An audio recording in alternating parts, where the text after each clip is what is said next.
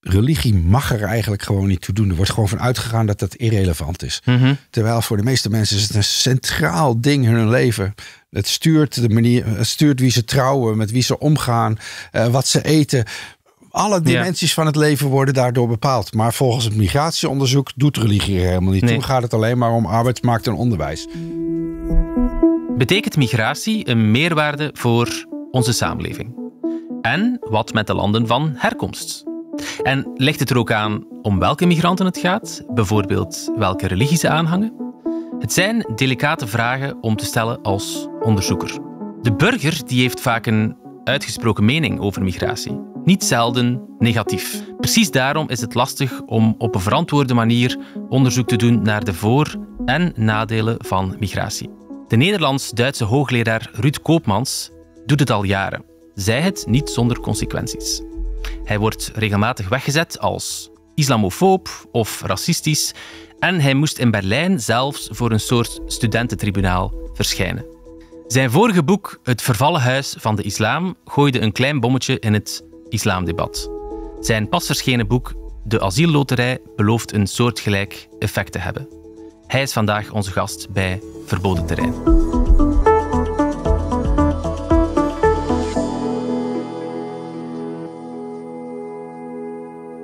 Welkom, Ruud Koopmans. Ja, hi Maarten. Je bent hoogleraar sociologie en migratieonderzoek aan de Humboldt Universiteit in Berlijn sinds 2013, dacht ik.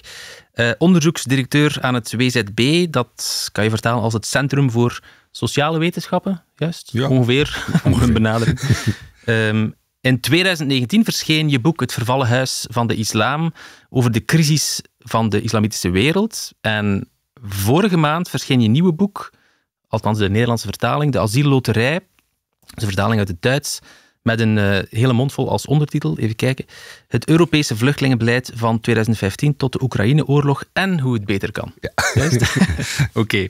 Ehm, ja, je hebt tientallen artikels, boekhoofdstukken, bundels en andere wetenschappelijke publicaties over een hele waaier van onderwerpen. De islam, migratie, religieus geweld, burgerschap, sociale bewegingen, politiek ex- extremisme en, en dat wekte toch mijn bijzondere interesse, over de geschiedenis van de antinucleaire beweging en de factoren van haar succes. Met je onderzoek naar migratie en islam kom je regelmatig in eh, opspraak. En mensen kunnen misschien de indruk krijgen dat je dat bewust opzoekt, maar je hebt onderzoek gedaan naar een hele waaier van onderwerpen.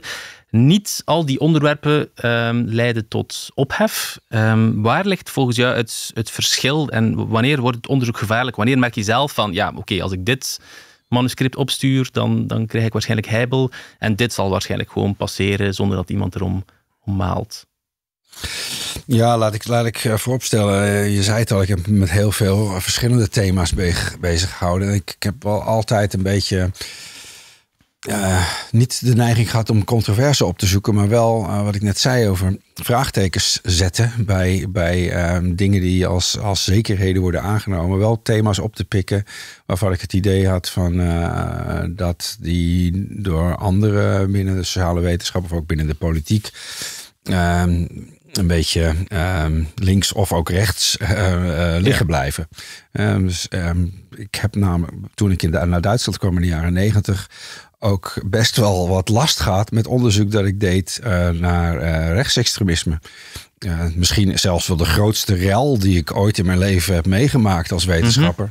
eh, was toen ik een, een onderzoeksartikel publiceerde. waarin ik ehm, eh, de reactie van de Duitse politiek toen de tijd, in de jaren negentig hebben we het over, op asielzoekers vergeleek met de reactie op Duitse, Duitsstammige vluchtelingen uit Ja. de voormalige Sovjet-Unie. En dat stuitte eh, sommige eh, andere wetenschappers en ook politici, maar dit keer aan de rechterkant van het politieke spectrum, Mm, ja. zo tegen de borst. Dat, eh, dat tot een brief op hoge poten aan de directeur van het instituut waar ik toen ook al werkte, het WZB. Maar toen was ik nog postdoc, dus dat ging aan Ja. mijn, mijn, mijn de president van het instituut. Die daar gelukkig eh, afwerend op reageerde. Maar de hoogleraar die die brief had geschreven, schreef vervolgens een, een brief aan de Duitse regering. Eh, en Ja. die heeft het zelfs op de agenda van eh, de ministerraad gezet. En er kwam een, een officiële terechtwijzing van de staatssecretaris van Onderwijs. Die ook in, de, ja. in de toezichtsraad van het WZB zit. Uh, dat de bondsregering zich distancieerde van mijn artikel. dus dus ik, heb, ik heb het ook van, uh, van de rechterkant uh, meegemaakt. Op een moment dat ik me met rechtsextremisme bezig hield. Wat in de jaren negentig een thema was dat in Duitsland en ook in Nederland niet zo hoog op de politieke agenda stond. En waarvan ik het toen nodig vond om me met dat thema bezig te houden. en ja, later zijn dat andere thema's, andere vormen van extremisme geworden, zoals het islamitisch fundamentalisme. Ja. En daar kreeg ik dan vervolgens last van de andere kant van het politieke spectrum. Ja. Maar voor mij is het uh, eigenlijk hetzelfde. Ja, het zijn twee vormen van extremisme. Het zijn twee thema's die uh, rechtstreeks extremisme in de jaren negentig in Duitsland en islamisme en fundamentalisme in, in Nederland, Duitsland uh, of ook België in de laatste paar decennia zijn niet echt thema's waar, waar veel andere sociale wetenschappers zich mee bezighouden. En ook in de politiek is er een neiging om vaak te doen, ja, dat heeft allemaal met de islam niks te maken, ja. heeft met religie niks te maken. Uh, en is alleen maar een, uh, een, probleem van een hele kleine groep uh, van het rechte pad afgeraakte jongeren. Ja. Dus je zoekt de controverse niet per se op, maar je gaat ze ook niet uit de weg. En misschien is dat dan wel goed ook dat je soms eens tegen linkse haren instrijkt en tegen rechtse haren. Ik vind het wel interessant om te, om te vernemen dat er dus ooit van, van rechtse kant, misschien, en je zegt zelf, dat was misschien zelfs het meest ophefmakende uh, onderzoek, of waar de ja, protest het tot de hoogste regionen doordrong? Ja, mijn, mijn, uh, mijn onderzoek uh, over migratie en, en, en islamitisch fundamentalisme heeft in ieder geval nog niet geleid ja. tot een officiële stellingname van de bondsregering. Ja, ja. Dus Precies, ja. ja. Een studententribunaal is er niks bij vergeleken. Ja, dat was, uh, dat was in uh, 2016, dus midden in uh, wat bekend staat als de vluchtelingencrisis. Die natuurlijk met name in Duitsland heel erg in het centrum van de belangstelling stond.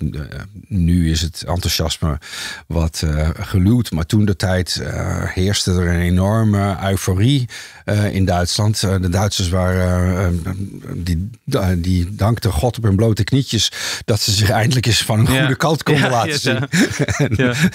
En dat ze eens een keertje niet aan de foute kant van de geschiedenis stonden. Dus in dat klimaat, uh, wat heel moeilijk is voor te stellen als je er niet bij was, uh, was uh, het zetten van vraagtekens bij het vluchtelingenbeleid, of het zetten van vraagtekens bij immigratie meer in het algemeen, was een tijd lang ja, totaal, uh, uh, daar plaatste je me je totaal mee buiten de orde. En toen, uh, ja, toen kwam het tot, een, tot een klein opstandje van een, een fractie in het studentenparlement, of de grootste fractie binnen het studentenparlement toen de tijd een, trotskistische groep. Uh, maar goed, uh, die hadden zich uh, waarschijnlijk verdienstelijk gemaakt of bekend gemaakt bij de studenten. Waren inderdaad ook heel activistisch en gebruikten ook mij om zeg maar aanhang te mobiliseren. Dus ze zijn naar twee kranten gestapt. naar de Taz, dus een, een, wat links alternatieve krant. En naar Neues Deutschland, een, de, ex, de, de, krant van de ex-communistische partij van, van Oost-Duitsland. Ja. en die hebben twee grote artikelen waar uh, ik voor uh, racist werd uitgemaakt. En, en ja, daar waren de pop aan het dansen. En vervolgens reageerde ik. ze hadden ook wat op Facebook geplaatst. En ik reageerde erop en zei van... nou, ik ben graag, bereid om met jullie in debat te gaan. Mm maar dat wilden ze toen opeens niet. Want ja, ja daar waren ze niet op voorbereid. Ze waren wel naar twee kranten gestapt en hadden ja. voor racist uitgemaakt. Maar toen ik zei van nou laten we er dan eens over praten. zei ik nou ja nee, dat, ja nee. Uh. dus toen maanden later en pas nadat ze ook dan steun hadden gekregen bij een paar uh, leden van de wetenschappelijke staf. Die dan ook met mij wilden discussiëren. Toen, uh, toen durfde er eentje van hen dan ook met mij op een podium te gaan zitten. Is dat het zogenaamde tribunaal waar men het dan over heeft? Nou, waar, waar jij het over had. Een tribunaal. Het was natuurlijk niet een tribunaal in die zin. Ik stond daar niet uh, terecht. Maar als je de atmosfeer, als je erbij zou zijn geweest. Uh, als, mijn, mijn vrouw bijvoorbeeld, die was, die was, die was extreem. Die voelde zich ja. extreem geïntimideerd. Ja. Zeg maar plaatsvervangend voor mij. Want het was, ja, het was heel erg een hele zaal met, met 300 studenten tegen mij, zeg maar. Ja. Want van mijn collega's moest ik het ook niet hebben. dus het was, het was wel een intimiderend sfeertje. Oké, laten we eens gaan naar de, de, de, ja, de bron van hun, uh, uh, hun protest. Uh, er is één artikel, ik weet niet of het je meest omstreden artikel is, maar het is toch iets um, wat mijzelf is bijgebleven, dat is een, een aantal jaren geleden. Ehm, een artikel dat verschenen is in het Journal of Ethnic and Migration Studies, waarin je religieus fundamentalisme en vijanddenken onderzoekt en vergelijkt bij twee groepen, dus Europese christenen en Europese moslims. En daaruit blijkt dan dat een aanzienlijk aandeel van um, de moslims dus een fundamentalistische versie van een geloof aanhangen en dat dat veel hoger ligt dan bij christenen. Is dat ongeveer de juiste ja, samenvatting? Ja, ja, goede Ik heb daar een uh, kort filmpje over, uh, over de, ja, de, de ophef die, die, die toen ontstond. Er is niet een één op één koppeling met bijvoorbeeld fundamentalisme en radicalisering. Uh, ik denk dat u dat ook stelt in uw onderzoek. Bovendien moet er ook echt een scherpe definitie komen en een verschil tussen radicalisering, met daaraan gekoppeld jihadisme en fundamentalisme. Ja. Uh, waaruit, waaruit uit alle onderzoeken blijkt namelijk dat die koppeling er niet is. En is, ik denk is dat, dat zo, die koppeling... dat die koppeling er niet is? Die, dat is geen noodzakelijke koppeling. Dat is, het is een soort stappenproces. Niet alle fundamentalisten staan ook vijandig ten opzichte van Joden en ten opzichte van het Westen. Maar wel een grote groep van die fundamentalisten. Weer niet allegenen die fundamentalistisch zijn en vijandig ten opzichte van Joden en het Westen zullen bereid zijn om geweld te gebruiken. Maar we weten ook uit verschillende onderzoeken dat tussen de 10 en de 15 procent van moslims in Europa en ook in Nederland is het onderzocht 11 procent zegt dat het onder bepaalde omstandigheden geoorloofd is voor mij persoonlijk om geweld te gebruiken vanuit mijn religie. Ja, mag, mag wie, wie was de man met wie je hier in debat gaat? Uh, dat was, uh, ik weet niet of hij dat op dat moment al was, maar in ieder geval uh, later was hij de leider van NIDA, een lokale politieke partij in Rotterdam. Uh, die uh, ja, een beetje op de lijn van Denk zit, zeg maar, ook in de andere Nederlandse partij. Dus ja, in principe een vertegenwoordiger van, van een, conservatief islamitische partij. Ja. à la AKP uh, van Erdogan in Turkije, zeg maar. Ja. Nu, de kritiek die hij naar voren brengt, um, namelijk dat fundamentalisme um, niet per se een probleem stelt in de samenleving. Dus dat het feit dat gelovigen hun religie boven de wet stellen, ja, dat dat uh, er maar van afhangt hoe dat je dat interpreteert of dat je dat opvat. Um, die kritiek komt ook uit een heel andere uh, richting. Uh, ik heb het laatste boek van Markel Gardus gelezen, mm -hmm. um, ongetwijfeld wel bekend. en hij zegt ja, dat, dat, dat conflict, de loyaliteitsconflict tussen aan de ene kant die overtuiging en de, de wet, dat is eigenlijk ja, een klassiek conflict dat heel ver teruggaat in de westerse traditie. En dan verwijzen naar uh, uh, de tragedie van Antigone. Antigone, uh, wiens broer ehm, gestorven is en beschouwd wordt als een landverrader. En daarom mag hij niet begraven worden. En dan ehm, ja, gaat zij dat toch doen. Uh, omdat zij haar eigen overtuiging, haar eigen geloof boven de wet stelt. En zij draagt daar dan ook de consequenties voor, namelijk de doodstraf.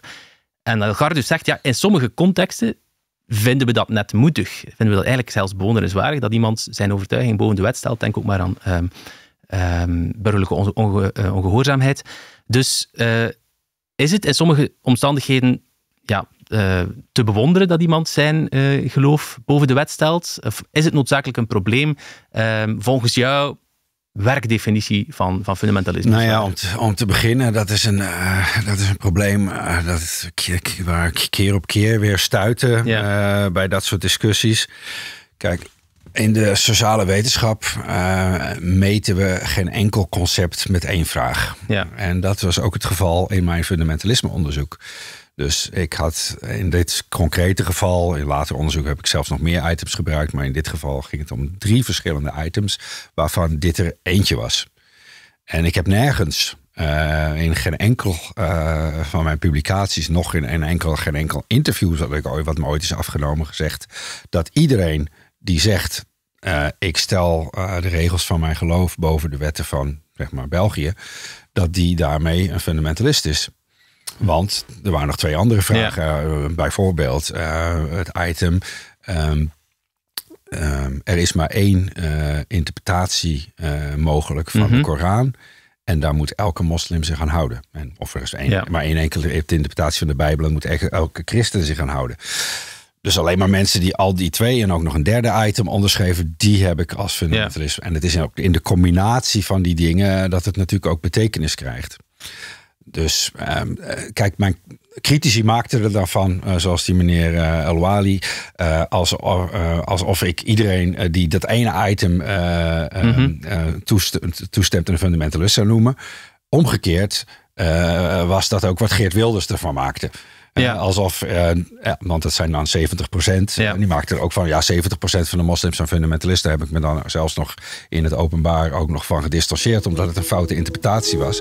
Uh, maar goed, zelfs dat maakt dan niks uit. Je, er worden hier weer dingen toegeschreven die je helemaal nooit hebt gezegd.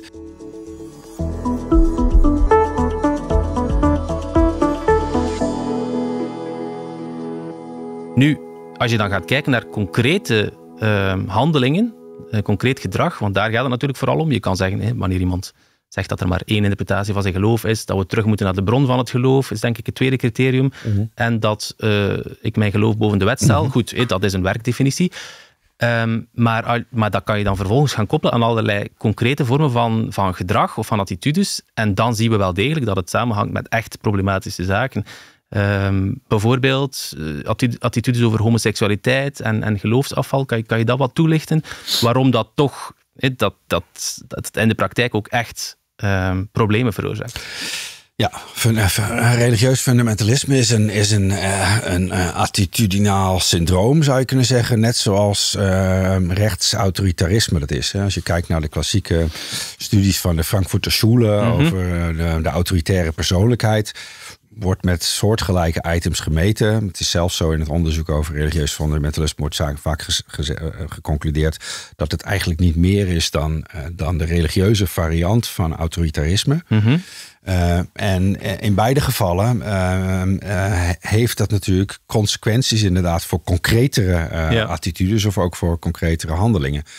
Ehm, maar dat maakt overigens dat religieus autoritarisme niet onproblematisch. Want het is vaak, dit is de, vaak de beste voorspeller uh, van allerlei zaken die wel degelijk problematisch zijn. Als we het inderdaad hebben over houdingen ten opzichte van homoseksualiteit, uh, antisemitische uh, instellingen, vijandigheid ook ten opzichte van andere geloofsgroepen of ten opzichte van, van, van geloofsafvalligen ja. binnen de eigen groep daar is het, het, het fenomeen fundamentalisme um, een, een, enorm sterke voorspeller. Een, een, sterke voorspeller, dat betekent natuurlijk niet dat elke fundamentalist dat vindt, maar het betekent wel dat, dat, dat, dat een groot deel daarvan um, um, antisemitische opvattingen heeft, uh, anti-homoseksuele opvattingen, vijandig staat ten opzichte van het Westen.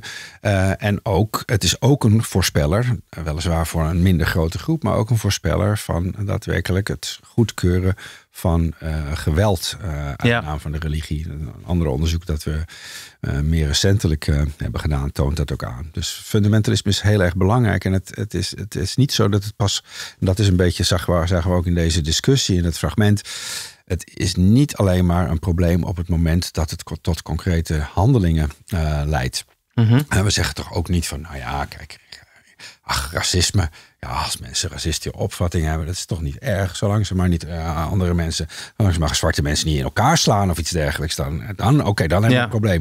Nou, dat is de discussie die we over islamisme hebben, die we ook in het fragment zagen. De, men is alleen maar bereid om het als probleem te zien op het moment dat het tot aanslagen leidt. Ja. Uh, en jihadisme, nee, dat is, dat is het eindproduct uh, van, een, van een proces uh, waar veel stappen aan vooraf gaan. En het is net, zo, net zoals het is, zo is dat racistisch geweld en discriminatie hun wortels hebben in een, in een, een, een, een ideeënwereld, een ideologie. Uh, die veel wijder verbreid is als de mensen die daadwerkelijk tot, uh, die tot, tot geweld overgaan. Wat, hoe, over hoeveel mensen hebben we het die daadwerkelijk, daadwerkelijk racistisch geweld plegen? Dat is mhm. ook maar een handjevol. Ja. Maar die worden wel geïnspireerd en voelen zich gelegitimeerd. Precies, en krijgen vaak ook steun van een veel grotere groep. En dat is bij het islamisme niet anders. Alleen hetgene wat we bij het rechtsextremisme volledig normaal vinden, namelijk dat het ook om de legitimerende ideologie eromheen gaat, dat is iets wat bij bij het uh, als het om islamisme gaat, een soort uh, taboe is. Ja. Dan, dan, wordt, uh, wordt, wordt, dan heb je onmiddellijk te maken met, met tegenweer. En dan wordt je islamofobie in de schoenen geschoven. En het is ook iets waar ja, waar gewoon heel, waar weinig aandacht voor is, waar ook geen, geen, geen onderzoeksgeld dan voor beschikbaar komt. Hè. Dus we hebben vooral naar, naar Black Lives Matter, maar ook al daarvoor. Er is enorm veel uh, onderzoeksgeld beschikbaar in Nederland, ook in Duitsland, voor onderzoek naar uh, racisme en, en, discriminatie op basis van ras. Maar onderzoek over islamisme is een totaal ondergeschoven kindje. Het enige wat men financieren wil, de overheid dan nog, is onderzoek over daadwerkelijk geweld en uh, jihadistische groepen. En daar komt nog wel wat voor beschikbaar. Maar voor de ideologie eromheen, uh, nee, daar, moeten we, dan, daar blijft gewoon een discours. Nee, dat, dat zijn, en dan moet dan zoveel mogelijk los. Het gaat alleen maar om die paar losgeslagen jongeren. Het heeft niets, maar dan ook helemaal niets te maken met de islam. Niet, niet zelfs, zelfs niet met een, met een bepaalde interpretatie van de islam het heeft niets met religie te maken. En uh, die vraag mag vooral niet gesteld worden. Ja, maar dan blijkt inderdaad een soort van intellectuele onwil. Omdat mensen een proces dat ze in andere contexten perfect kunnen herkennen. Dat mensen die tot uh, racistische geweldpleging overgaan, bijvoorbeeld, dat doen in een bepaalde sociale context. Dat die, hoewel zij een kleine minderheid vormen, dat zij gesteund worden door een grotere groep enzovoort. En dat ook als er een kritische massa is van mensen die racistisch is, dat die misschien dan sneller geneigd zullen zijn om tot geweld over te gaan. Dus al die zaken zullen mensen perfect volgen hmm. als het gaat om uh, racisme of om andere vormen van uh, radicale ideologie. Maar als het om de islam gaat, dan wil men het niet zien. Dus voor een stuk is het ook... Dat, het, is, het is echt een soort van ideologische verblinding. Het is niet dat men het niet snapt of zo. Het is dat men, men wil het niet toepassen omdat het over de islam gaat, omdat dat dan blijkbaar een ja, minderheidsgroep is, uh, bruine mensen, mensen met een andere huidskleur, die dan als slachtoffer worden beschouwd. Is dat, is dat de juiste analyse? Uh, ja, dat is de juiste analyse, afgezien van het feit natuurlijk dat uh, de meeste uh, moslims helemaal niet bruin, ja, zijn. Maar het, ja, het, gaat om de perceptie, ja, het beeld. En deze in de huidige context in, dat, in dat jargon natuurlijk wel, dan zijn het people of color.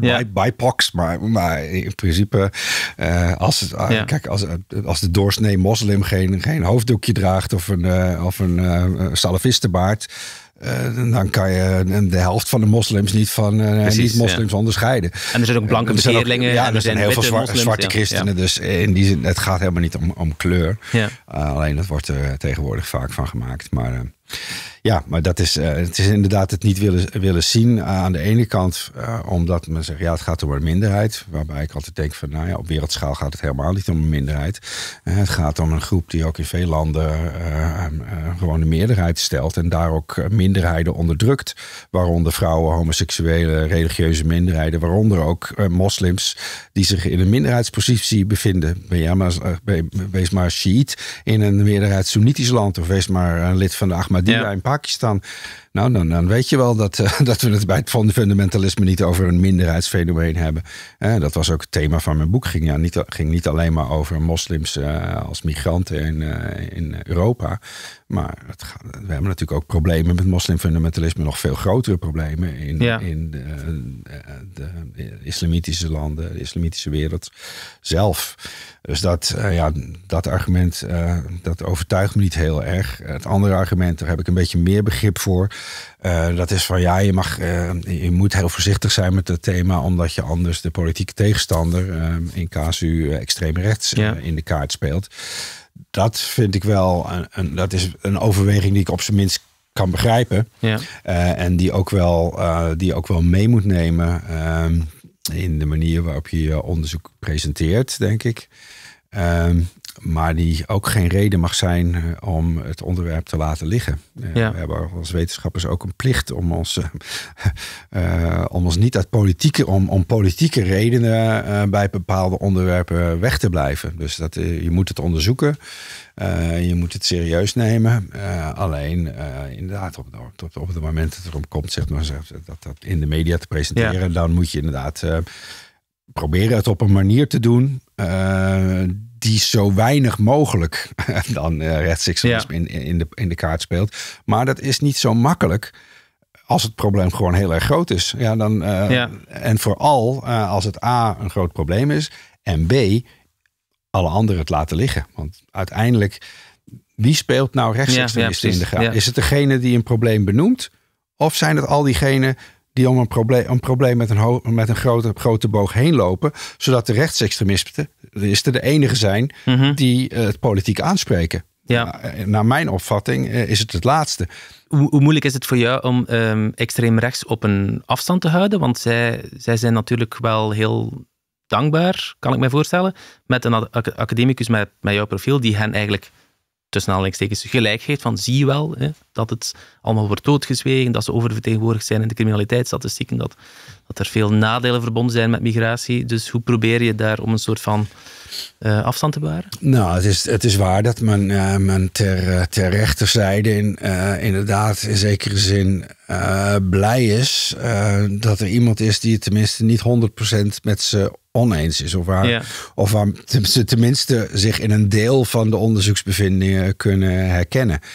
Ehm, dat het ook voor, vaak voor een ander deel uh, niet het geval is, dat nemen ze soms voor lief. Ja, uh, ja dat, is, dat is waar. Omdat ze geen andere keuze hebben. De, de, nee, het is Ruud Koopmans of niemand. Ja, dus, dus ja, dan, dan, ik zie dat soms wel eens op Twitter, als er dan, dan in die kringen zeg maar, over mijn uh, werk gediscussieerd wordt daar, kan, daar komt heus wel, een, heus wel een hoop kritiek. Bijvoorbeeld op mijn laatste boek. Uh, die, ze vinden het natuurlijk niet leuk dat er ook in dat boek staat dat we een humanitaire plicht hebben. En dat we grote, grote contingenten van vluchtelingen moeten opnemen. Dat is natuurlijk niet helemaal. Uh, maar sommige andere aspecten. Ja, natuurlijk als, mhm. je eruit, als je eruit pikt wat je eruit wil pikken. Dan, uh, dan ja, dat kan je ook uit het onderzoek over fundamentalisme.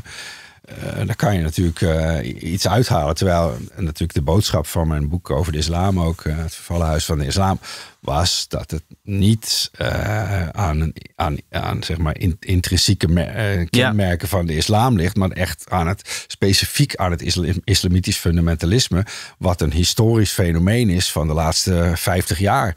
Ja. ja dus het is geen eeuwige, en dat is natuurlijk, nou goed, dat is ook weer iets dat er natuurlijk bij, bij extreem rechts niet goed ingaat, want volgens hen is het natuurlijk wel iets intrinsieks mm -hmm, in de islam en is het ook niet te verbeteren. Er is al maar één oplossing en dat is min of meer het afschaffen van de islam.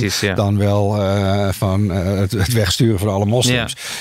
Kan ik jou misschien langs deze kant ook eens uh, uitdagen? Dus, dus je zou nog een stap verder kunnen gaan, inderdaad, en zeggen: um, het is niet zozeer islamitisch fundamentalisme dat het probleem is. Want als je fundamentalisme opvat als teruggaan naar de bron, ja, dan, uh, dan, dan ligt het er natuurlijk aan wat er zich precies in die bron bevindt. Wat komt er uit de bron? Als je een Jainist, bevent, uh, als je een Jainist bent, bijvoorbeeld, iemand die um, radicaal pacifist is, dat zijn die mensen die zelfs ja, niet op insecten willen trappen en die met een, een stokje het, het, het gras uh, aan de kant doen om, om geen levend wezen te, te doden. Ja, dat is een vorm van fundamentalisme, maar die volstrekt onschadelijk is. Maar als je terug gaat naar de bron en je begint die heilige teksten te lezen en daar staan allerlei uh, opruiende, gewelddadige passages in, ja, dan krijg je echt een probleem. Dus het argument daar is, um, fundamentalisme is op zich niet het probleem. Het is alleen een probleem binnen de islam, omdat de bron zelf, omdat die heilige teksten, omdat die zoveel haat en geweld bevatten. Is dat voor jou een stap te ver, als, als je het zo uitdrukt? Uh, ja, dat is een stap te ver, omdat het ook niet klopt. Uh, dat dat uh, laat ik in mijn boek ook vrij duidelijk zien. omdat natuurlijk als je de Bijbel een beetje kent... Ja uh, die staat ook vol voor al het Oude Testament, maar ook het laatste boek van het Nieuwe Testament, de Openbaringen van Johannes, staat ook vol met geweld, legitimeringen. Um, dus um, ja, ik heb het niet uh, vergelijkend geteld. Maar, ja, maar ik, ik, geloof niet dat die twee heilige boeken elkaar uiteindelijk veel ontlopen. Het, het zijn allebei uh, vreemde uh, mengsels, zichzelf weten, weer, weersprekende mengsels van aan de ene kant hoogmorele oproepen tot vredelievendheid en naasteliefde. Ja. En tegelijkertijd de meest gruwelijke aanbevelingen om geweld te gebruiken tegen volkeren die je hebt overwonnen. Of uh, geloofsafvallige aanbieders van het Gouden Kalf en apostaten en weet ik wat allemaal. Dus ja, elke religie die goed, ik ken niet elke religie, laat ik me maar beperken. gewoon tot de drie ja. Abrahamitische religies waar ik een beetje verstand van heb. Maar in ieder geval die alle drie, als je de heilige boeken, als je de Torah, als je de Bijbel, als je de Koran uh, letterlijk neemt en denkt dat die uh, heden ten dagen nog net zo moet worden aangewend uh, als in de tijden van Mohammed. En als je denkt dat de manier waarop Mohammed toen leefde en handelde richtsnoer is voor het handelen van alle moslims heden ten dagen en dat we allemaal hem zoveel mogelijk moeten imiteren. Uh, dan heb je een groot probleem. Maar dat, dan heb je ook een groot probleem met het christendom. Dan ja. heb je ook een groot probleem met het jodendom. Dus ja, fundamentalisme is dat het probleem. Want het is natuurlijk niet empirisch gezien niet de enige manier waarop je een religie kunt interpreteren. Historisch, zeker ook in de wereld van vandaag de meeste christenen in Europa, tenminste, moet ik er dan ook nog bij zeggen, die hangen natuurlijk een uh, volslagen niet-fundamentalistische vorm van christendom aan. Uh, die de Bijbel niet letterlijk neemt, maar die het als een soort moment allegorie ziet. Uh, Een soort handleiding voor hoe je een moreel leven moet leiden. En het gaat om de bedoeling achter al die verhalen. En het is allemaal niet letterlijk bedoeld. En ja, ja. Dan, dan, dan is het natuurlijk ehm, ehm, dan is het een, een onproblematische vorm van religie. Maar ja, goed, wij hebben in het christendom natuurlijk ook uh, periodes gehad, lange periodes, ja. waar het allerminst uh, problematisch was. Het, ik hoef alleen maar het woord inquisitie te laten vallen. Dat was natuurlijk precies. een vorm van katholiek fundamentalisme, mm -hmm. die ook extreem bloederig was. En de, de, de godsdienstoorlogen die we in, uh, in, de, in de 16e en de 17e eeuw hier, in Europa hadden. Uh, met de opkomst van het protestantisme. Dat was ook dat was in veel opzichten heel erg vergelijkbaar met wat zich nu in, nou, in het Midden-Oosten afspeelt. Ja.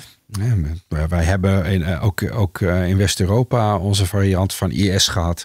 De, de, de, wederdopers uh, onder Jan van Leiden, die uh, in Münster en omgeving een waar schrikbewind hebben gevoerd, gevoerd wat, eh, wat, uh, wat IS in niks te naast stond. Mm -hmm. dus het zijn allemaal dingen die we ook in het christendom hebben gekend en die je ook als je wereldwijd kijkt bepaalde protestantse stromingen in de Verenigde Staten of ook in, in Afrika uh, daar is ook uh, fundamentalistische geloofsinterpretaties ook tot op de dag vandaag zeer populair. Inclusief alles wat erbij hoort aan haat tegen homoseksuelen, antisemitisme, onderdrukking van vrouwen en noem het allemaal maar op. Ja. Ik heb daar nog een vraag over, omdat ik ben het daar trouwens volledig mee eens. Inderdaad, het christendom is op dit moment um, verwaterd en heeft haar tanden verloren omdat ze door de wasmachine van verlichting is gegaan. In Europa inderdaad, of toch in onze contrij en zeker niet over de hele wereld. Um, maar soms vraag ik me af of dat precies um, het feit dat de religie waar wij mee opgegroeid zijn in onze contraien, dat die dus afstand heeft genomen van letterlijke lezing van heilige teksten en fundamentalisme enzovoort. Um, dat we daardoor zo vervreemd zijn geworden van de kracht van religie, dat we misschien ook te weinig um, het gevaar hebben ingezien van dat islamitisch um, fundamentalisme. Ik heb daar ook een klein filmpje over.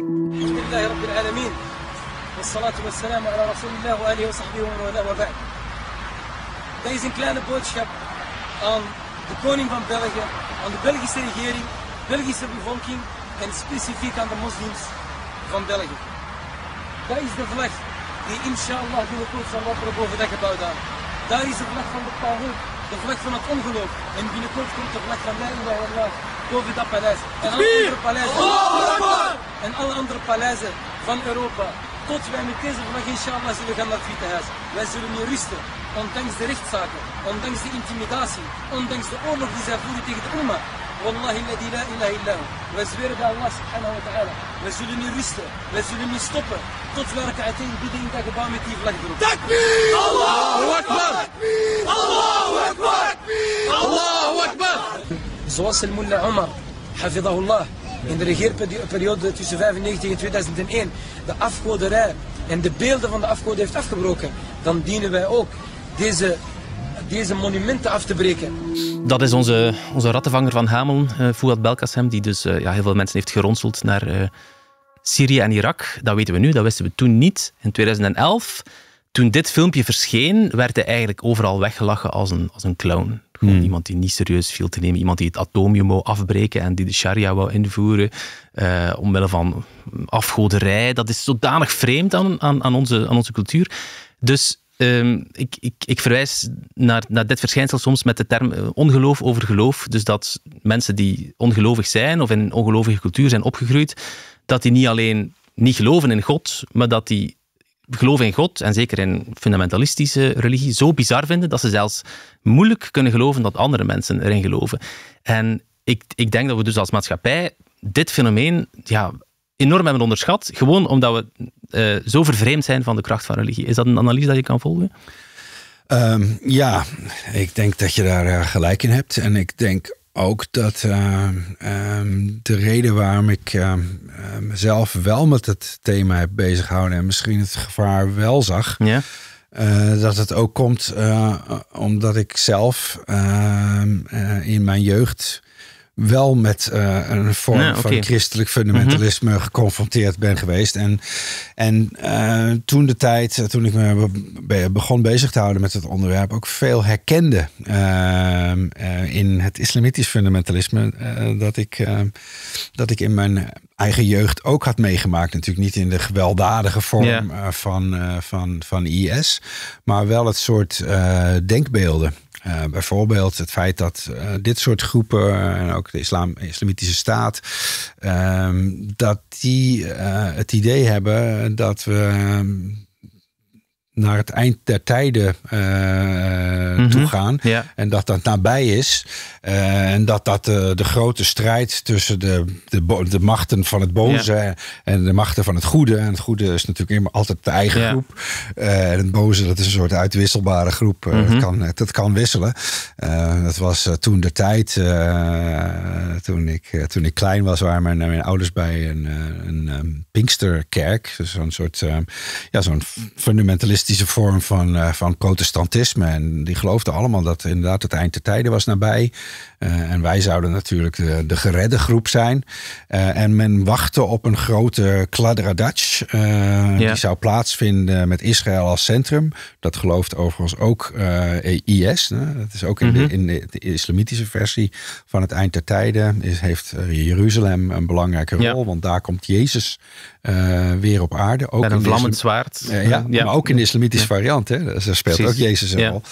Um, en, uh, en, en, en sommige van die groepen uh, zijn van mening dat we de krachten van het goede een beetje een handje moeten helpen. En ook moeten helpen, zeg maar, dat eind der tijden, die grote strijd, uh, naderbij te brengen. En IS is daar een voorbeeld van. Die geloofde heilig in uh, dat er in de buurt van Raqqa, daar, de, dat was, na de voorspelling, daar de grote uh, Kladradatsch zou mm -hmm. plaats, plaatsvinden. En dat zij daar um, als overwinnaars uit.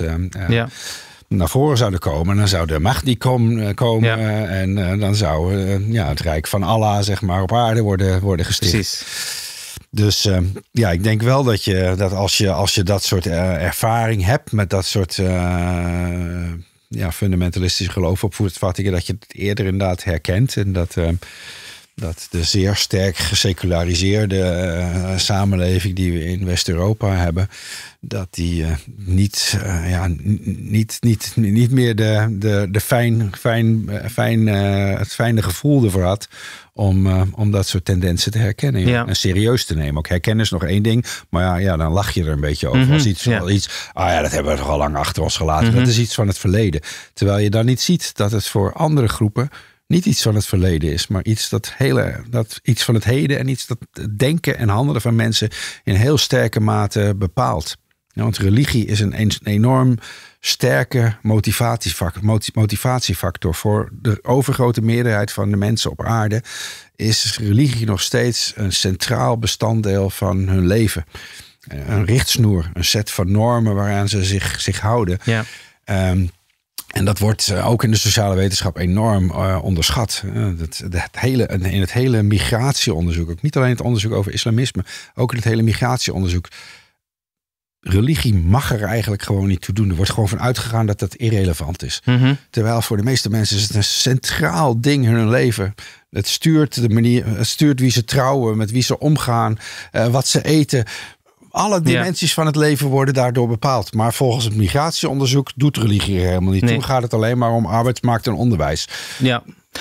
Uh, gaat het alleen maar om zaken waar wij ons iets kunnen bij voorstellen? Dus achterstelling, discriminatie, frustraties enzovoort. Motieven die het voor ons begrijpelijker zouden maken vanuit een seculier perspectief. Begrijp ja, dan het idee is, van je leest iets in een heilige tekst en dan vind je dat je de heilige plicht hebt om dat uit te voeren of zo?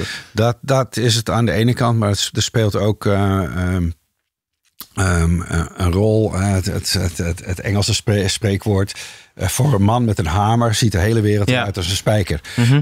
en, ja. en, en, onze, in onze uh, sociale verzorgingsstaat is de man, is de hamer is onderwijs en werk. Ja. Ja, dat, zijn de twee, dat zijn de twee instrumenten die zeg maar in een christendemocratische, sociaal-democratische verzorgingsstaat, dat is, het, dat is het instrumentarium van de overheid. Dus elk probleem lossen wij op door ja, we moeten arbeidsplaatsen scheppen en uh, leerplaatsen en we moeten investeren in onderwijs. Dat is de oplossing voor alles. Ja. Uh, maar oplossingen die uh, niet op het niveau van ideologie en religie liggen, ja, daar kan je, daar kan je met deze met die hamertjes Ja. niet veel aanvangen. Precies, dus dat ja. speelt ook een rol, zeg maar.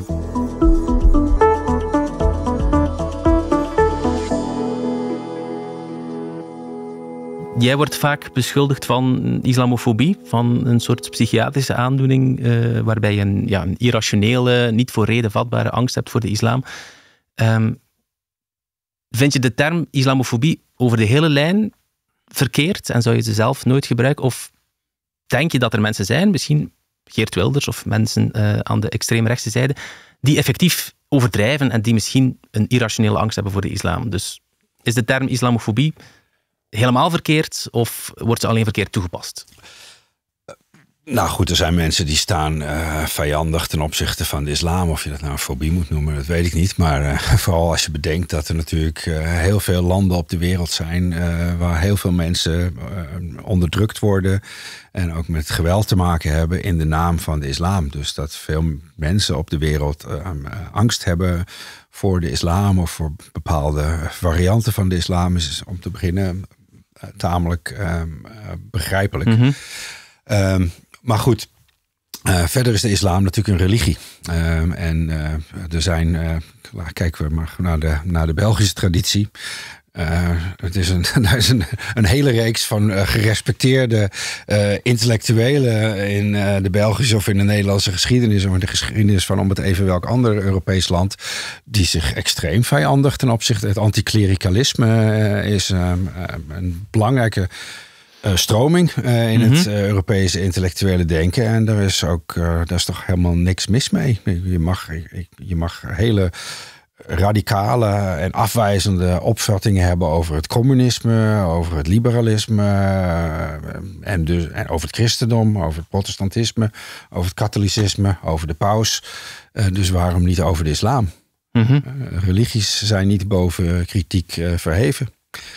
Dus religiekritiek, ook hele radicale religiekritiek. Zelfs de opvatting van Geert Wilders dat, eh, dat de Koran, als je, de, de, de, de- als je uit de Koran eh, alleen de vreedzame passages zou overlaten, dan heb je een heel dun Ja. boekje over. Nou, dat mag hij van mij zeggen. Ja. eh, En als je van één religie vandaag bang moet zijn, dan is het misschien toch van de islam? In de, Zou je ja, daarmee in, in de, ja, Ja. in de wereld heden ten dagen, daar staat dat, eh, dat, eh, dat, dat, dat leidt geen twijfel. Ik, ik citeer in mijn boek eh, een onderzoek eh, van een Amerikaanse politicoloog, eh, Ted Robert Gurr. Dat heet Minorities at Risk. En dat kijkt naar eh, een bedreigde minderheden in eh, landen over de hele wereld.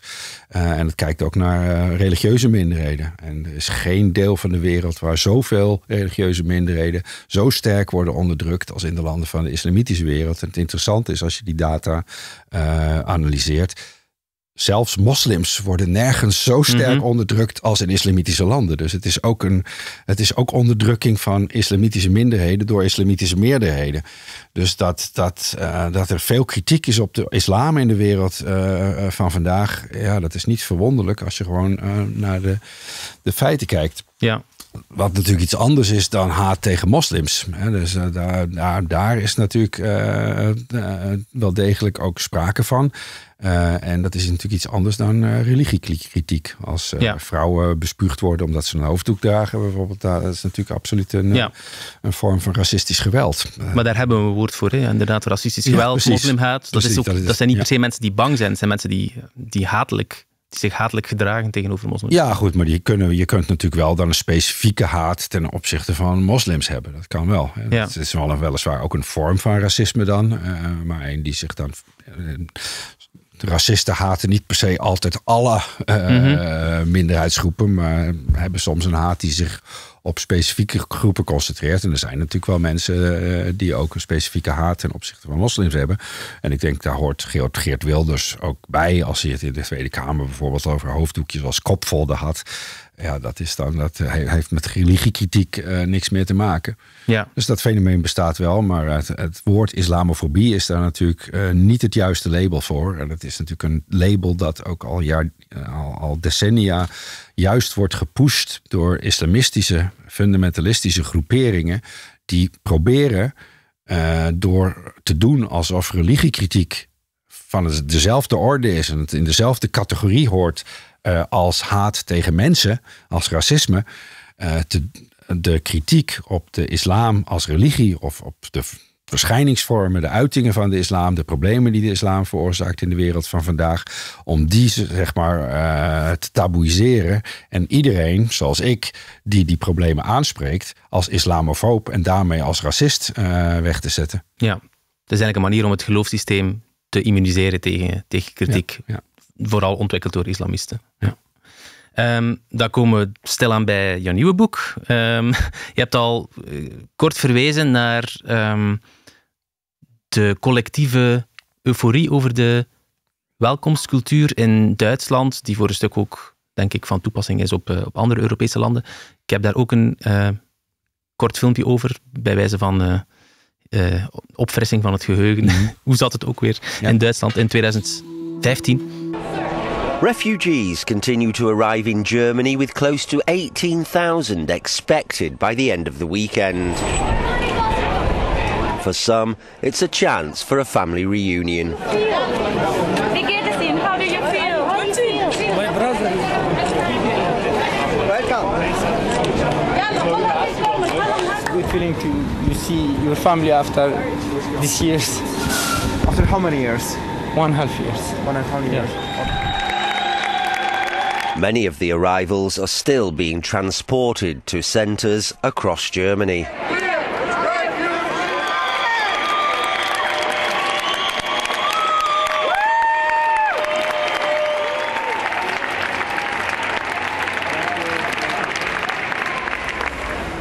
Ja, een uh, collectieve euforie noem je het, die er helaas ook toe geleid heeft dat ja, elke discussie over veiligheidsproblemen of uh, terroristen die zich onder de vluchtelingen zouden bevinden, dat die, dat die werd in de kiem gesmoord. En zelfs veiligheidsdiensten gingen daarin mee, beschrijf je in je boek. Dat is wel vrij verontrustend, waarbij ze eigenlijk ja, dus alle uh, bezorgdheid daarover als paniekzaaierij afwimpelden en voortdurend achter de feiten aanholden. En eigenlijk dan pas veel later moesten toegeven, ja, sorry, er zaten toch een aantal terroristen onder de vluchtelingen, terwijl dat eigenlijk, als ik jou lees, perfect voorspelbaar was. Nou ja, perfect voorspelbaar uh, wil ik niet zeggen, maar uh, dat het in, uh, in de lijn der mogelijkheden lag. Ja. dat ja, voor iemand die voor veiligheidsdiensten had het eigenlijk voor de hand moeten liggen. Kijk, als je, als je honderdduizenden mensen hebt die zonder identiteitscontrole van het meest gewelddadige gebied uh, ter wereld, waar de meeste burgeroorlog en, en, en jihadistische terrorgroepen actief zijn, als die mensen zonder enige vorm van controle Europa binnen kunnen komen, dan is dat natuurlijk een gelegenheid voor uh, dat soort extremistische groepen om daar gebruik van te maken. Ja. Plus, uh, zelfs als het niet direct is aangestuurd door uh, groepen als IS, onder de mensen die dan vluchten uit dat soort oorlogsgebieden, als je weet dat, dat daar extremistische ideeën uh, grote aanhang hebben onder de bevolking, dan kan je er natuurlijk ook van uitgaan dat onder die honderdduizenden mensen ook enige personen mm -hmm. zullen zitten die dat gedachtegoed aanhangen en die misschien ook uh, uit eigen beweging uh, voor ja. problemen zouden kunnen zorgen. Dus je zou zeggen, daar zouden um, um, veiligheidsdiensten zeer waakzaam moeten zijn. Maar het tegendeel was inderdaad het geval. En ik citeer uh, meerdere, meerdere interviews van uh, het hoofd van, uh, van het Bundeskriminalamt, zeg maar de, de, de hoogste politiedienst. En van het Bundesamt für Verfassungsschutz, dat is de geheime dienst. die beide het gevaar van terrorisme wegwuifden.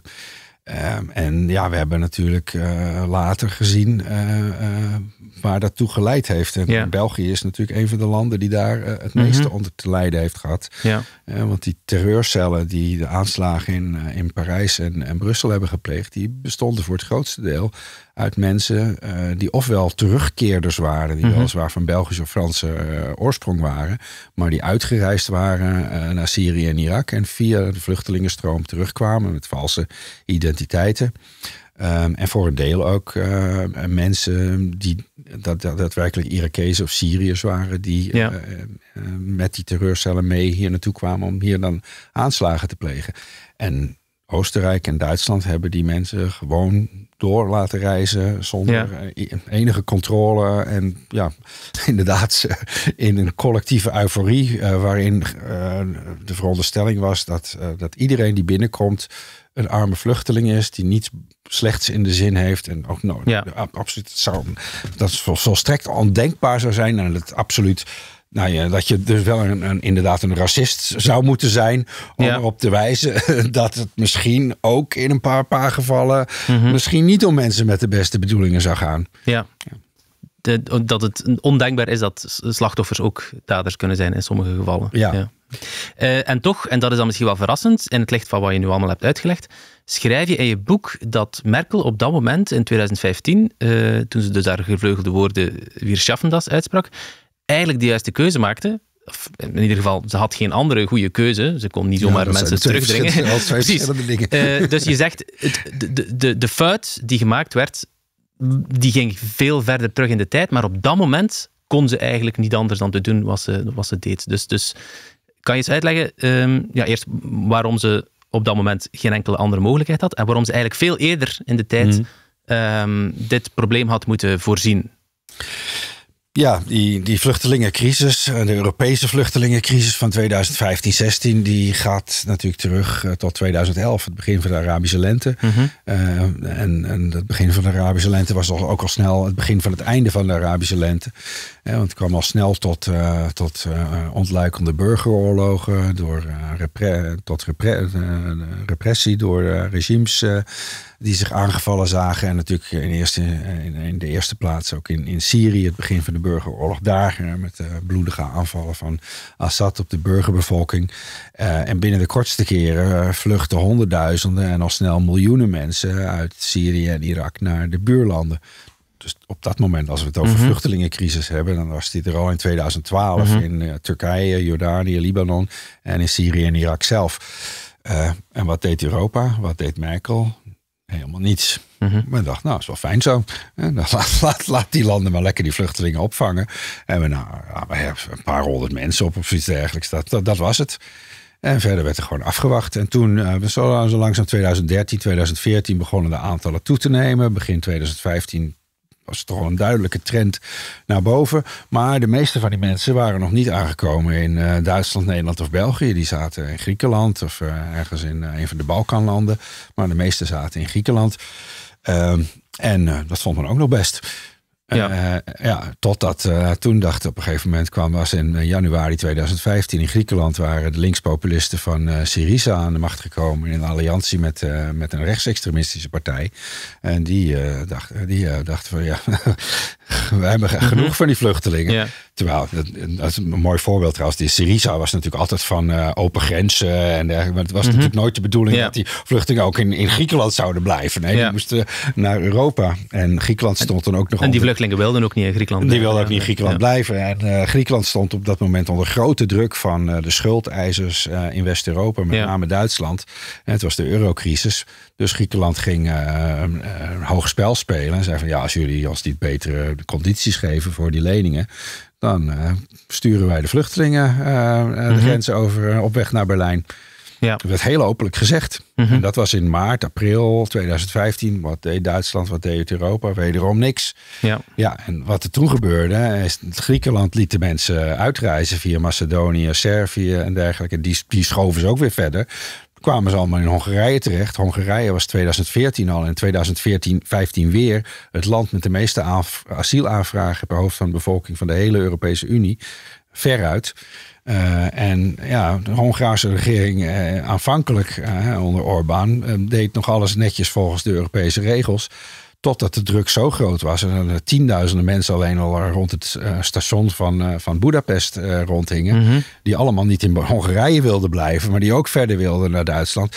En omdat er door de politiek in West-Europa, ook op het Europese niveau en door Merkel in de eerste plaats zo lang niet gehandeld was, niets gedaan was, kwam je inderdaad op een gegeven moment in een situatie waar tienduizenden mensen uh, zich over de snelweg richting, uh, richting uh, Duitsland, of richting eerst Oostenrijk begaven. Mhm. En toen van Oostenrijk weer naar, naar, Duitsland. Dus die beslissing om toen de grenzen open te maken, ja, dat was zeg maar een fait accompli. Mhm. Wat had Merkel anders moeten doen op dat moment? Het enige wat ze op dat moment had kunnen doen, zou geweest zijn met politie, soldaten, de grens dicht houden en mensen aan de, aan Ja. de grens terugwijzen. Maar het wordt daar vaak wel verweten dat zij eenzijdig eigenlijk het, eh, heet het, Dublin-verdrag heeft opgezegd, ehm, zonder daarvoor toestemming te vragen naar Europese partners. Maar jij zegt eigenlijk, ja, zat geen alternatief. Ja, echt opgezegd heeft ze het ook nooit. En dat is weer, ik, ik vergelijk het in het boek ook met de situatie in, in, in Oost-Berlijn in 1989. Hè, met een soortgelijke situatie, een regime in Oost-Duitsland dat al heel lang onder druk stond. Uh, en dat op een gegeven moment door niet handelen de druk zo had laten oplopen. Dat is op een gegeven moment daar in, in begin november uh, 1989 ja. in een nachtelijke vergadering van het politbureau hadden ze besloten om, uh, om um, de reisbeperkingen voor Oost-Duitsers om naar het westen te reizen, mm -hmm. om familie te bezoeken, om die iets te versoepelen. Uh, en um, dat mensen een visum konden aanvragen en dat dat dan binnen tien dagen behandeld zou worden. Maar ze waren toen stonden toen onder een zo grote druk Mhm. uh, dat er toen een persconferentie was en daar versprak uh, de woordvoerder van de regering zich. Uh, hij kreeg een vraag die hij niet had verwacht en, en werd gevraagd: ja, van wanneer gaat dat dan in? En toen zei hij: ja, ja, ik, mm, ja ik geloof nu.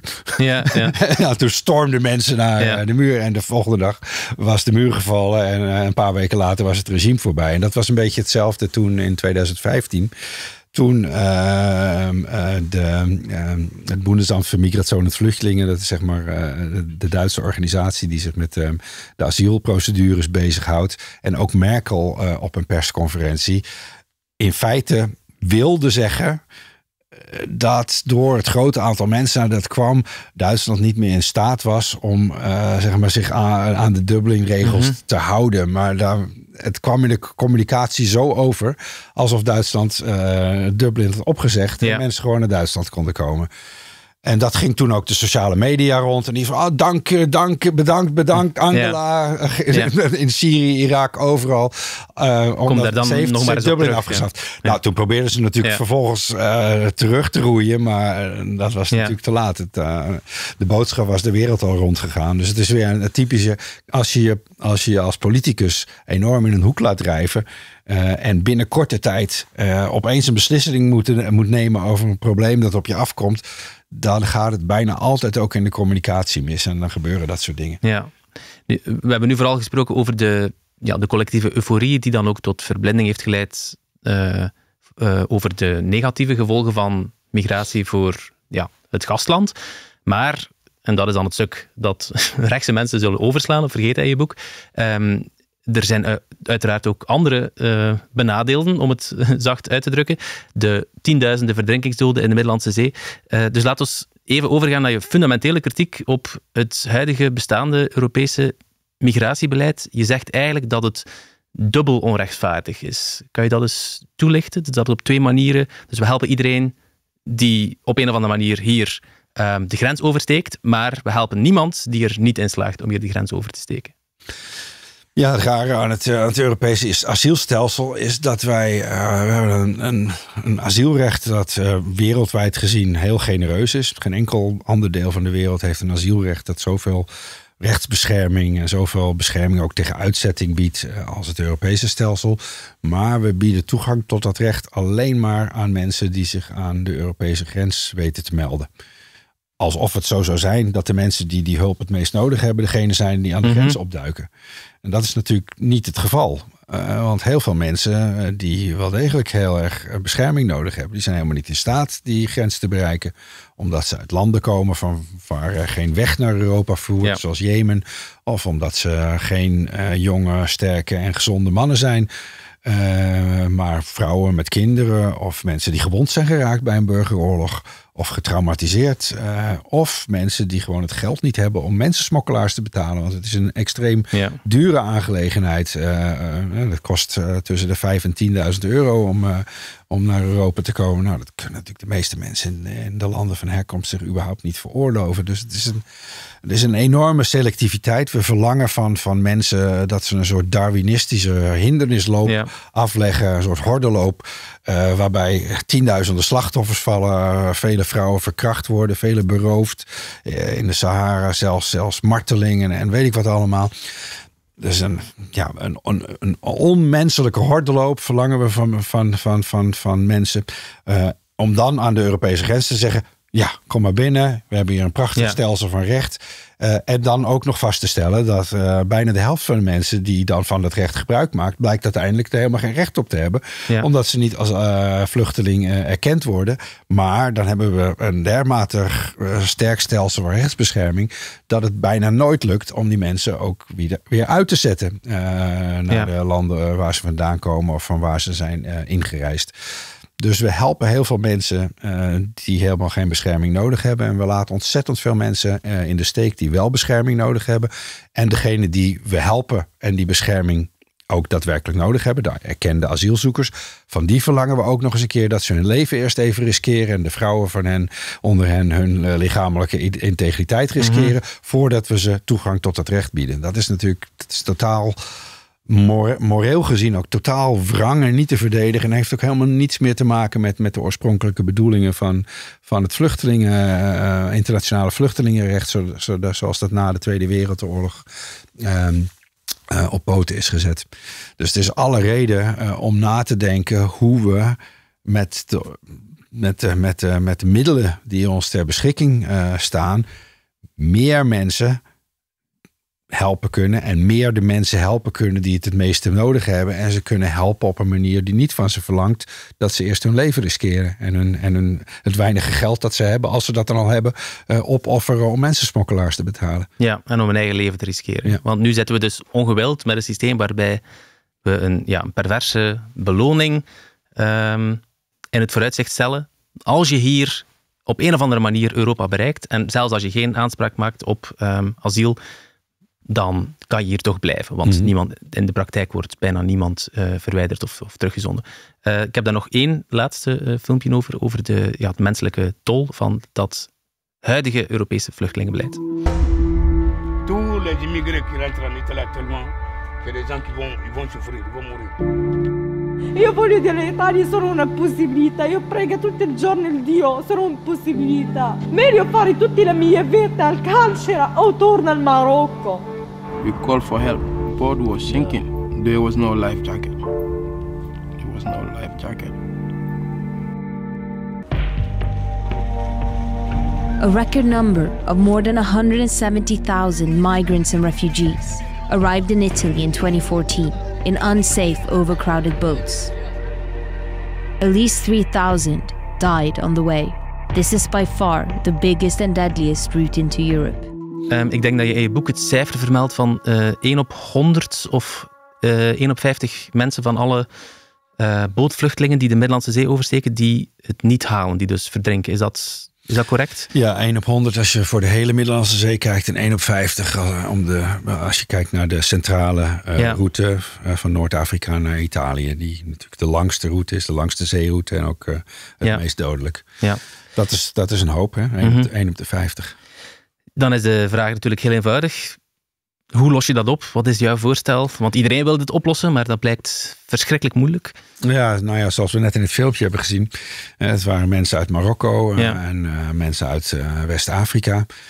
Dat zijn over het algemeen mensen die als ze eenmaal naar Europa komen... niet erkend worden als mhm. asielzoekers. Want het zijn geen landen waar grootscheepse politieke vervolging plaatsvindt.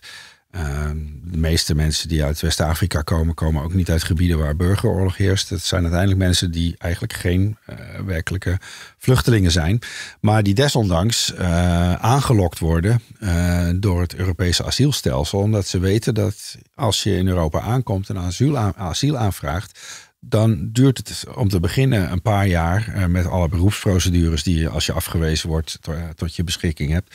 Uh, dat je in de asielprocedure kan blijven. Vervolgens ben je, ben je dan uitgeprocedeerd en afgewezen. Maar zelfs dan uh, kun je blijven, want dan zijn is er nog allerlei bescherming tegen uitzetting. Uh, veel van die mensen gooien, ja. gooien ook hun uh, papieren weg of, of uh, laten ze niet zien, zodat het heel moeilijk wordt mensen uit te zetten. Dus ja, we hebben een, een grote aantrekkingskracht -hmm. door het principe als je, er eenmaal, als je eenmaal binnen bent kun je blijven. En we kunnen dit probleem alleen maar oplossen als we die prikkel wegnemen. Uh, dat, dat betekent, we moeten de prikkel wegnemen voor degenen die geen vluchtelingen zijn. En voor degenen die wel vluchtelingen zijn, moeten we alternatieven creëren. Zodat we niet van ze verlangen dat ze uh, eerst de Middellandse Zee oversteken. Daar komt natuurlijk nog bij dat ze eerst dan ook nog de Sahara mm-hmm. moeten oversteken, door, uh, doortrekken. Um, en, en op een andere manier zeg maar, vluchtelingen gaan opnemen. Dus zolang we die prikkel niet wegnemen, zullen mensen in bootjes blijven stappen en zullen mensen omkomen. Daar verandert ook, um, um, veranderen ook reddingsschepen niets aan. Dat hebben we in, de, uh, in het verleden ook gezien. juist, juist toen, toen in Italië op een gegeven moment grootscheepse reddingsoperaties op touw zetten, zelfs met marineschepen en vliegtuigen. Het aantal mensen dat, dat stierf in de Middellandse Zee nam zelfs toe omdat, omdat, omdat mensen wisten van uh, we worden ja. waarschijnlijk opgepikt door een Italiaans schip. Dat is het beruchte aanzuigeffect, dus dat is er wel. Of? Ja, er is ja. natuurlijk het aantal ja. mensen dat in die periode de Middellandse Zee overstak, uh, was nog nooit zo hoog geweest. Omdat meer mensen het gingen proberen. Omdat de prijzen van de smokkelaars ook zakten natuurlijk. Want die, hoefden een, die dachten, nou dan hoeven we niet meer zo'n goede boten te hebben. Want we worden, maar daardoor, doordat meer mensen het gingen proberen en doordat de smokkelaars uh, slechtere uh, boten gingen mm -hmm. inzetten, kwamen er meer mensen om het leven dan daarvoor. Dus met, uh, en je kan wel zeggen, we hebben, we, daar ben ik het ook mee eens, we hebben een morele plicht om mensen te redden uh, die op zee in nood verkeren. Maar dat gaat de toestroom naar Europa niet doen afnemen. Dat gaat ook het aantal doden in de Middellandse Zee niet doen afnemen. Dus we moeten gewoon de prikkel wegnemen. En dat kan alleen maar als we afspraken maken met landen buiten de Europese Unie. Uh, de landen aan de noordkant van uh, de Middellandse Zee, of ook Turkije, uh, over het um, um, terugnemen van afgewezen asielzoekers mm-hmm. en over het doorvoeren van asielprocedures daar. Als mensen weten, als die West-Afrikanen die we in het filmpje hebben gezien, als die weten, als ik met een bootje aankom in Italië, dan heb ik weliswaar recht uh, uh, op een asielprocedure. Maar ik word naar Tunesië gebracht bijvoorbeeld. Om daar die asielprocedure te mm-hmm. belopen. En dan daar bescherming te krijgen als ik word erkend. Ja, dan is voor de meeste West-Afrikanen de prikkel al weg. Uh, want ze willen helemaal niet naar Tunesië. Ze willen ook meestal niet naar Italië. Ook mm-hmm. zeker niet naar Griekenland. Ze willen naar Duitsland of naar België of naar Zweden of naar Nederland. Dat is het doel. En als ze weten dat dat doel niet bereikbaar is, tenminste niet op deze manier, dan zullen ze het ook niet meer proberen. Mm-hmm. En er hoort natuurlijk bij, uh, als je ervan uitgaat dat wij als rijk continent ook een humanitaire plicht hebben. En dat die plicht ook, dat we ons ook aan internationale verdragen hebben gebonden. Als, het, als de, uh, de uh, conventie, conventie van Genève opdat we uh, uh, ons tot die humanitaire plicht bekennen, dan moeten, we, dan moeten we dus vluchtelingen op een andere manier opnemen. En dat kan je doen via contingentopnames, waarmee je samen met de Vluchtelingenorganisatie van de Verenigde Naties, de UNHCR, um, mensen in de vluchtregio's zelf, in de vluchtelingenkampen daar, selecteert voor contingenten Waarmee ja. mensen dan gewoon met het vliegtuig legaal naar Europa worden gebracht. Omdat ze al geselecteerd zijn en gescreend. Ja. En de identiteit is vastgesteld in de regio van oorsprong hebben we ook al die problemen met asielprocedures niet meer. Mm-hmm. Met onbekende identiteiten. Mensen kunnen onmiddellijk met hun integratie beginnen. Hebben onmiddellijk zekerheid uh, dat ze op zijn minst uh, de komende drie of vijf jaar kunnen blijven. En als de situatie in het land van herkomst niet verbetert, uh, ook op langere termijn kunnen blijven. Dus mensen hebben een perspectief. De ontvangende samenlevingen weten dan ook. Ja, dat zijn allemaal mensen die daadwerkelijk onze bescherming nodig hebben ze komen ook op een, in, in voorspelbare aantallen. Dat is natuurlijk ook belangrijk. Ja. Wij, wij, wij vervullen onze humanitaire plicht nu in een manier die ertoe leidt dat we soms, zoals nu, opeens heel veel vluchtelingen krijgen. En dan vaak weer lange tijd heel weinig. En dan plotseling is er weer zo'n piek. En in die pieken komt het natuurlijk tot een overbelasting van onze Ja. opvangcapaciteiten. Want we kunnen niet zo snel onze woningmarkt, eh, onze scholen, onze kinderdagverblijven, ehm, eh, de asielprocedures eh, en, al, en, en dat allemaal Mhm. aanpassen. De arbeidsmarkt kan ook zo snel niet mensen absorberen. Terwijl als je de, dezelfde aantallen beter verspreid over de tijd zou opnemen, dan komt het ook de integratie ten goede en de, Mhm. Ja. de acceptatie door de, door de ontvangende samenleving. Dus eh, een, een beter vluchtelingenbeleid is zonder meer denkbaar en is ook eh, juridisch mogelijk als we maar bereid zijn eh, aan beide kanten van het politieke spectrum om een paar heilige huisjes achter ons te laten. Dat betekent voor rechts het heilige huisje achter ons te laten. Dat, eh, dat we ehm, door een soort Fort Europa eh, mensen gewoon buiten kunnen houden. En ons voor onze eh, humanitaire plichten kunnen, kunnen ontdoen. Ehm, rechts zal moeten accepteren. Nee, we hebben die humanitaire plicht. En als we een politiek compromis willen, dan betekent dat dat we ons moeten committeren dat we dan grotere aantallen vluchtelingen, minstens zoveel als nu, opnemen via een andere manier, via die contingenten. En voor links eh, betekent het dat men eh, op moet geven, het idee moet opgeven dat. eh, Dat niemand illegaal is. ja, dat niemand illegaal is. Dat, er, dat open grenzen een soort m- reële mogelijkheid is, een reële oplossing is.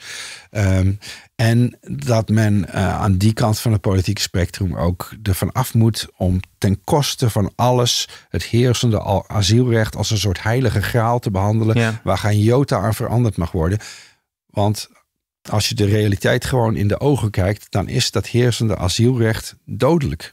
Ook als je, al, al zou je maar je helemaal niet bekommeren op wat het, om, wat het nu voor de ontvangende samenleving betekent. En zal het je worst wezen dat het de rechtspopulisten eh, eh, in de kaart speelt. Ook als je dat helemaal niet interesseert voor vluchtelingen zelf, is het een extreem onrechtvaardig stelsel dat dood en verderf zaait onder vluchtelingen. Dus ook, voor, ook als, het, als het enige belang is dat jij vindt eh, dat in, de vluchtelingen, eh, in het vluchtelingenbeleid zou moeten te- tellen het belang van vluchtelingen is, ook dan moet je voor een ander eh, en beter beleid zijn. Ja, je hebt een origineel idee in je boek om eh, die twee zaken aan elkaar te koppelen. De, de humanitaire contingenten aan de ene kant, die moeten ja, eh, vergroot worden of die, die, moeten aangemoedigd worden. En aan de andere kant de irreguliere migratie. Eh, die zal er sowieso altijd blijven. Je kan die niet volledig terugdringen. Maar er zou een quotum moeten komen eh, waarbij we dus eh, de aantallen van irreguliere migratie in vermindering brengen en, op, en dus het overblijvende aantal humanitaire migranten moeten toelaten. Is dat een juiste samenvatting? Ja, nou goed, het, het, het idee is dat je natuurlijk inderdaad probeert om irreguliere migratie zoveel mogelijk eh, terug te dringen. Maar je moet natuurlijk in de, in de politieke pra- praktijk ermee mee rekenen dat er natuurlijk op alle, allerlei manieren eh, geprobeerd wordt dat doel eh, te frustreren. En om zo- om zo'n politiek compromis te laten werken. kijk, als je, als je zeg maar tussen links en rechts een compromis over deze materie sluit. En eh, dat gebaseerd is op het principe: we nemen evenveel vluchtelingen op, maar we doen het op een andere manier. Via contingenten. Dan kan deel van zo'n afspraak zijn dat je zegt: ja, we nemen 200.000. eh, ik, eh, ik zeg maar, oké, Europese Unie zou een beetje meer moeten zijn. Laten we zeggen 350.000 eh, vluchtelingen op per jaar. Maar als nu blijkt eh, dat door allerlei tegenwerking van, eh, van bepa- bepaalde regeringen, zeg maar, er zou weer zo'n Syriza aan de macht zijn in Griekenland en die laten mensen toch binnen, dat je dan zegt, ja, maar goed, als we in een jaar dan toch eh 200.000 irreguliere migranten hebben, dan is het humanitaire contingent maar 150.000. Ja. Als we er beter in slagen om die irreguliere migratie terug te dringen, kunnen we ook meer mensen via contingenten opnemen. En daarmee creëer je een soort eh, politieke balans eh, van tegenkrachten. Communicerende vaten. Die, ja, die ervoor zorgt eh, dat ook degenen die pro-migratie zijn en die, die zoveel mogelijk eh, asielmigratie willen, een, een, een, een, een, een, een prikkel hebben om eraan mee te werken om zoveel mogelijk mensen via contingenten op te nemen en niet irreguliere migratie te krijgen. Omdat uiteindelijk de mensen die we via contingenten opnemen, dat zijn de mensen die het meest hulpbehoevend zijn. Ja. Dus als het vanuit het puur humanitaire perspectief is een op, op, oplossing waar we 350.000 contingentmigranten en nul uh, irreguliere migranten hebben, dat is eigenlijk de ideale oplossing. Mhm.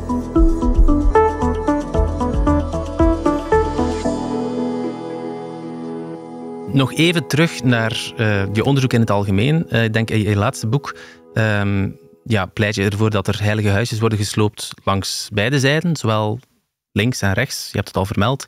Um, dus in die zin denk ik niet dat, uh, dat je boek zal gekaapt worden door deze of gene politieke strekking. Want bedoel, er staan onwelgevallige waarheden in voor, voor, ja, voor beide, beide kampen. Um, maar je onderzoek over islam en migratie denk althans in de academische wereld, daar krijg je natuurlijk wel vooral protest en, en weerstand uit één bepaalde hoek. Um, de samenleving in het algemeen die is vrij migratiekritisch, maar de meeste academische collega's die zijn pro-migratie, of in ieder geval die vinden uh, de link tussen uh, criminaliteit bijvoorbeeld uh, en, en islam of migratie, dat vinden zij zeer delicaat. Um, hoe zie je de toekomst van je eigen onderzoek. Ehm, ik neem aan, ik, mijn perceptie is het dat je in, in een minderheid bevindt, maar ja, ik neem aan dat je ook doctoraatstudenten hebt of de collega's waar je mee samenwerkt. Uh, dus is het mogelijk in de huidige context om dit soort onderzoek te blijven verder zetten in de academische wereld? Of vraag je je soms af uh, hoe lang het nog mogelijk blijft en uh, of, of het op een bepaald moment ook de Journal of Ethnic and Migration Studies zal wegvallen of zo. Mm. En dan zal niemand het onderzoek uitvoeren zoals jij het op dit moment uitvoert. Nou ja, ik, ik persoonlijk uh, kan er wel uh, mee doorgaan. Ja. voor zolang als het duurt. Uh, omdat ik natuurlijk een vaste positie heb mm -hmm. als hoogleraar. Ik ben een Duits ambtenaar, dus kan ook niet heel erg makkelijk ontslagen worden. Dus ik hoef maar, ook al krijg ik tegenwind en wordt me van alles in de schoenen geschoven. het zal mijn tijd wel duren, want mm -hmm. ja, ik heb gewoon een, een, een vrij zekere positie.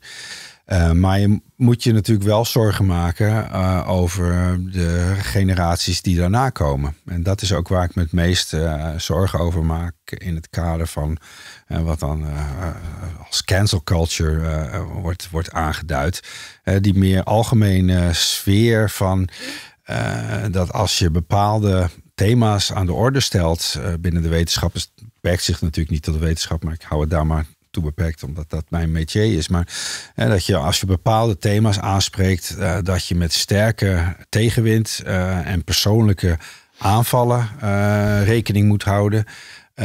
dat je soms ook met concretere vormen van tegenwerking te maken krijgt mensen uh, die bijvoorbeeld, uh, zoals in Duitsland gebeurd is, uh, mensen van andere instituten die hun medewerkers zeggen dat ze niet naar jouw conferentie mogen komen.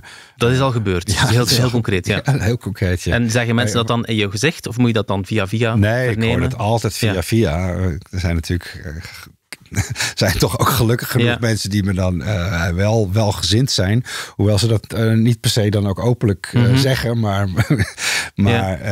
en die me dan vertellen, ja, moet je nou horen wat ik nou weer daar, mm -hmm. daar gehoor, gehoord heb. dat inderdaad iemand, wij organiseren een jaarlijkse uh, conferentie over migratie en diversiteit. En dat inderdaad iemand van uh, een, een, universiteit in Berlijn uh, had gezegd van... nee, dan moeten jullie niet aan een dokter, een promovendi van... nee, niet op die call for papers reageren daar.